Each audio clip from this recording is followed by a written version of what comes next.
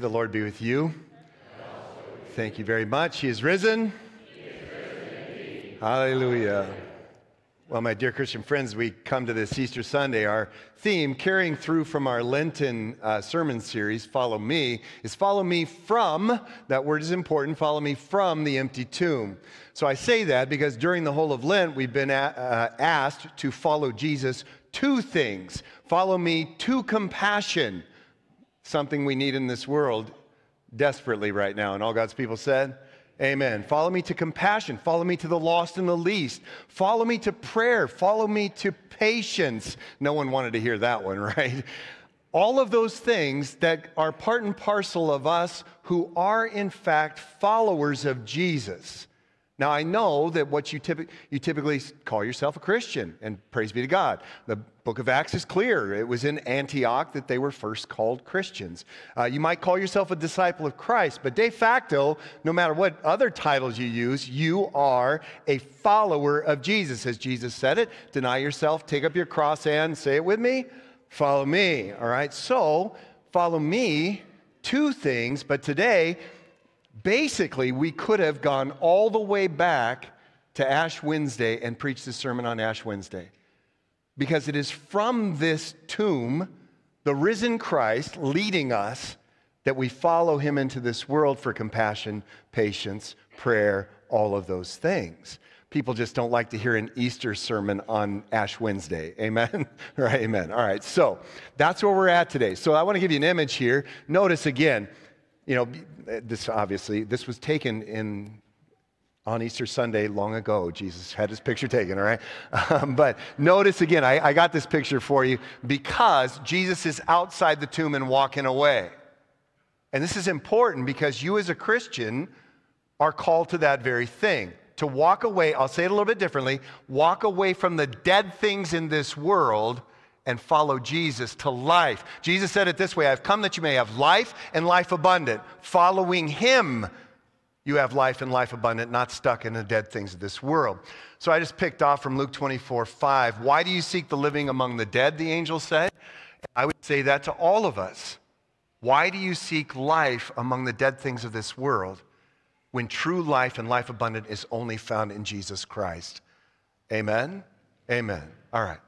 So let's look at a couple of things. I'm just going to give you a few vignettes from the story, uh, from the narrative. So I asked first, are you stuck like Joseph of Arimathea and Nicodemus? Let me just remind you who those two guys are before I take you to a Bible passage. So, Joseph of Arimathea, of course, was a ruler of the Sanhedrin. In my opinion, he may, I, I, I, put in a may there, may have been the rich young ruler of Matthew 19 that walked away from Jesus. We're never told, but I think it's interesting that he, in fact, was a wealthy guy. And, but that's obvious from what happened at the, uh, the tomb, and I'm going to read that to you in just a second. Uh, but that he was also uh, uh eventually became, as you'll hear read, eventually became a disciple of Jesus. And Nicodemus, of course, we call him Nick at night uh, because in, in uh, John chapter 3, Nicodemus, you know, came quietly to talk to Jesus in the nighttime, and that's where we get God so loved the world that he gave his only begotten son, etc. Right? So you have Joseph of Arimathea and Nicodemus. If you have a Bible or a device, I'd encourage you to open it. If you don't, the page number on the screen is the blue Bible, and if you want to just listen, you're welcome to do that too. All right. So, John 19, 38 to 42 is actually the burial of Jesus. We need to start there. Again, we're at the tomb walking away from it. And so, this is the story of Joseph of Arimathea and Nicodemus burying the Lord Jesus. I want you to notice, too, that clearly Joseph of Arimathea had some influence because Pilate was no friend of the Jews. And so, for a member of the Sanhedrin to come and him to grant the body of Jesus was a big deal, in my opinion. So, after these things, Joseph of Arimathea, who was a disciple of Jesus, but secretly for fear of the Jews, asked Pilate that he might take away the body of Jesus, and Pilate gave him permission. So, they came and took uh, away his body. Nicodemus also, who earlier had come, there you go, Nick at night, come to Jesus by night, came bringing a mixture of myrrh and aloes. Listen to this, Christian, about 75 pounds. I'll come back to that in a second. So they took the body of Jesus and bound it in linen cloths, as you know, Uh, Pastor and I were talking about the Shroud of Turin before worship services, so that, that's what they believe that it is. So, bound it in linen cloths with spices, as uh, is the burial custom of the Jews. Now, in the place where he was crucified, there was a garden, and in the garden, a new tomb, Joseph's tomb, in which no one had yet been laid. So, because of the Jewish uh, day of preparation, that is Friday, since the tomb was close at hand, they laid Jesus there. So, all right, what's going on with these guys? So, understand that they heard the Lord Jesus talk about his resurrection. Uh, just take a, a perusal through the Gospels, and over and over again, Jesus says, Okay, look, I'm going to go up to Jerusalem. They're going to be mean to me. They're going to malign me. They're going to mock me. They're going to beat me. They're going to crucify me. But it's like they, it was like they had stoppers in their ears all of a sudden. He always said it, but I will rise on the third day. And yet the other disciples, and I would suggest to you, even Joseph of Arimathea and Nicodemus, didn't hear it. Where were Joseph of Arimathea and Nicodemus on this day? They're living with a dead God, you see, a dead Christ, a dead Messiah. You know how you know that?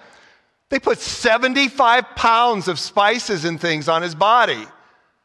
The Jewish rite of burial was about five pounds. This was like a, and probably intended to be a kingly burial. And we, we go, yay and amen, King of Kings and Lord of Lords, right? Of course, right? But what it was saying is, we're going to put all this stuff on him because he's not. If you believed with all of your heart that in a day and a half, you know, by hours anyway, it's three days by the Jewish count, if in a day and a half he's going to raise from the dead, you're not going to stick all that stuff. You don't need it. His body's not going to stink because it's not going to decay. He's going to raise from the dead. And maybe that's where you are at today. Maybe you're still living in the tomb of the dead Christ. You have doubts in your hearts about Jesus. Maybe, maybe today you came here because grandmother said, You want ham and potatoes at lunch? Come to church. and all the grandmothers said, Amen, right?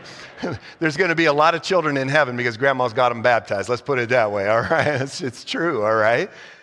So maybe you don't believe. This is, this is the cool thing about Christianity. We want you here.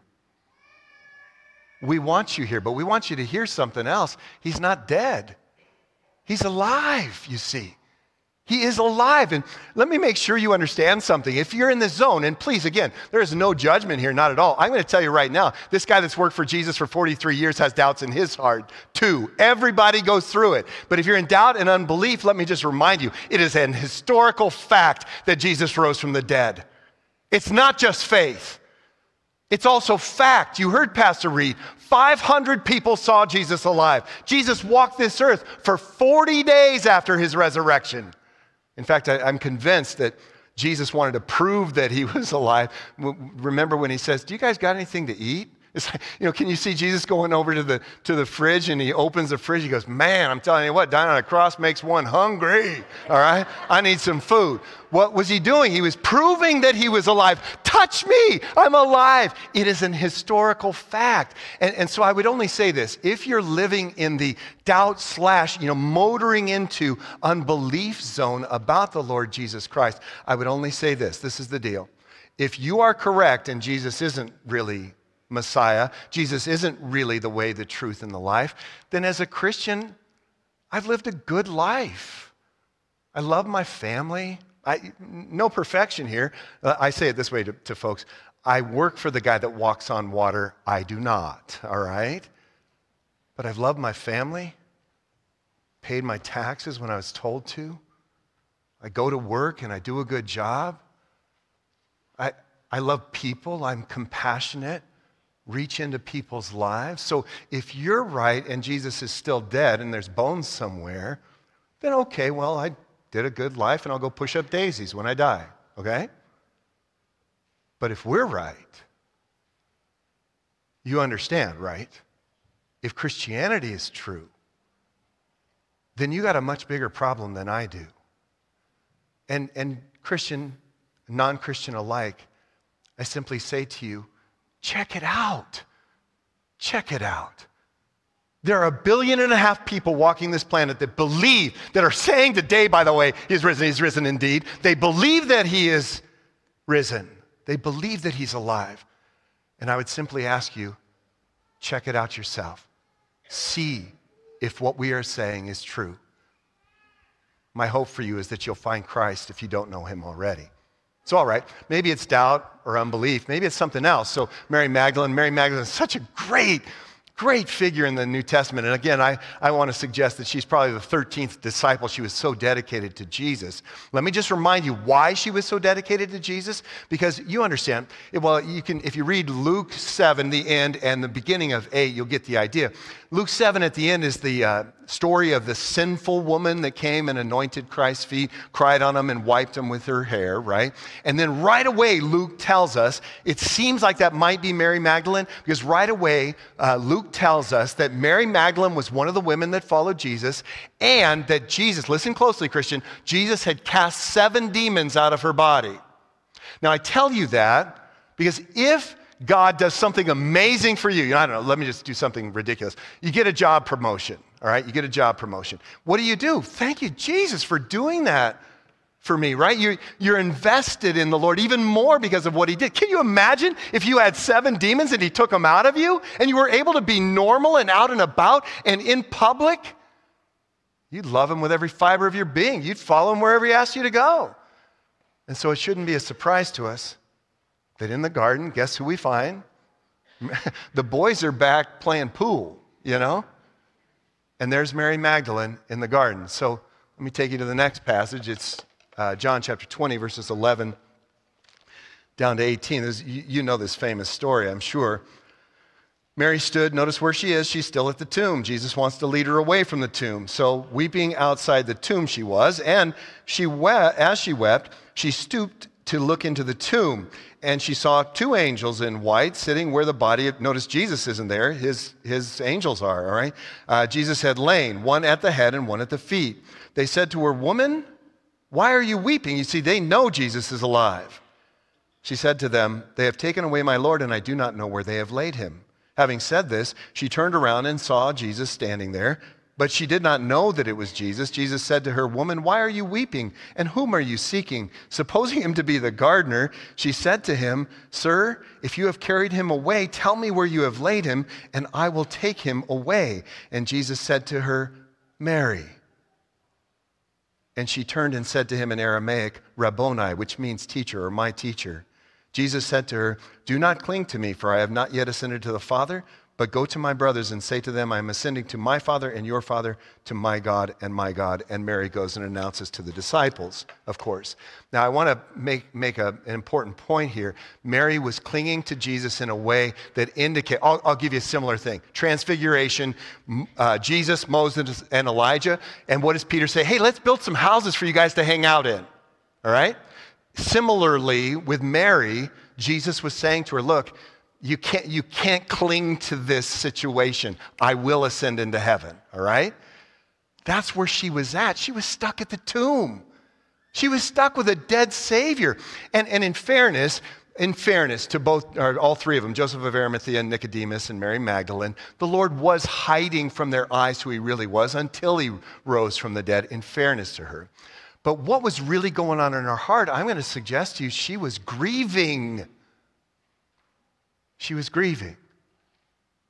And so for you, maybe it's something like that that's got you stuck at the tomb. Maybe you're grieving the loss of a loved one or the loss of a marriage or the loss of a job or the loss of a child or the loss of whatever, what, what used to be, right? You used to be able to remember things and now you can't remember them. Maybe you're grieving those things. Maybe it's something, in other words, that has been imposed on you that is hamstringing, it's the best way to say it, hamstringing you from following Jesus. You're stuck in that thing, whatever it is. And all of the things, by the way, I thought today, man, I opened up my computer, I couldn't believe it. There was another shooting in Pittsburgh today, or maybe it was yesterday, I don't know, but it, it another one, right? We get rid of COVID basically, and here comes Putin, right? One thing after another, after another in this world, keeping us in the dead zone, you see, instead of following Jesus. And please, Christian, do not hear me in any way denigrate what you're going through. You know what? Christians do grieve the loss of things, the loss of loved ones. We just simply grieve with hope. Hope of what? A living Christ.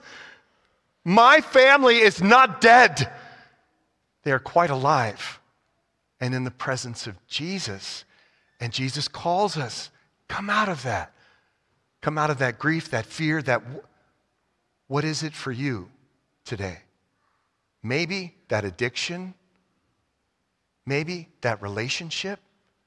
Maybe that sin that is hamstringing you and keeping you from fully following Jesus. All right, so what's the answer to it? Well, I asked the question and I'm going to do it again. Are you following Jesus to life or are you hanging out in the dead zone? Let me give you the last passage, John 20, verses 19 to 23.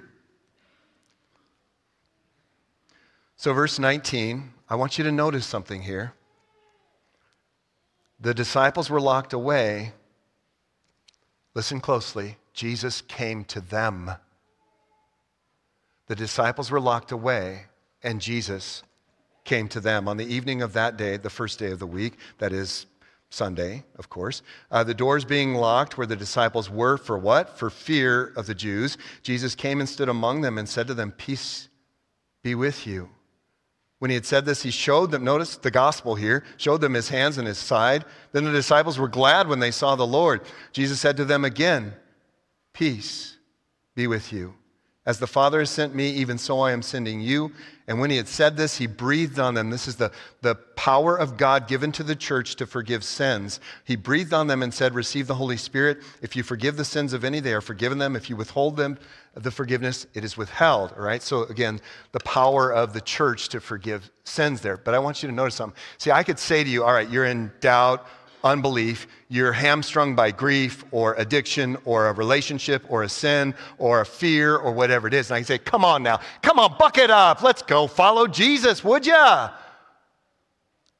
But that's not the way Jesus acts. See, he wants to bring you to that place. He wants to bring you to a different place from the place of death to the place of life. And he does that. Remember, when Jesus said, Peace be with you, they received that peace because Jesus' word is performative. It does what he says in the moment. He says to the storm, Peace be still. And guess what? It stops. The same thing is true about the disciples. He spoke peace in them. And then, I said it a moment ago, he gave them the gospel. Look, look, you can still see the nail marks and you can see where they stuck me in the side, but I'm alive. I died, yes. I died, but I'm alive now. Let's go. As the Father has sent me, what, what did he say? So now I am sending you. Yes. Let's go. Understand what I'm saying to you, Christian, is this Jesus wants to take you to a different place than you're at right now. He wants to take you in a deeper way in your relationship to Him. Not a cursory Sunday only kind of thing, but that I love God more than life itself. I want to follow Jesus wherever He is. If He really reversed death on Easter Sunday, then He's worthy of following. Amen? He calls you to that. But I want you to notice what our Lord always does. Well, I'll do it. John 3:16. God so loved the world that he sent his only begotten son you understand God comes to you in his living and active word, which is sharper than any two edged sword, able to divide between bone and marrow, soul and spirit, judging the thoughts and intentions of man's heart, or the gospel, which is, as Romans 1.16 says it, the power of God unto salvation to everyone who believes. But he wants you, he's calling you. He wants to take you by the hand and lead you to life and life abundant. In fact, I'm going to give you one last image on the screen to keep in your brain. Jesus isn't just doing this, go boy, come on, girl. Jesus is taking you by the hand and leading you forward in this life and an abundant life in Him. In Jesus' name. Amen? Amen. All right. So, I always appreciate when the kids are in the building. I get, a, I get a delayed amen when the kids are in the building. It's fantastic.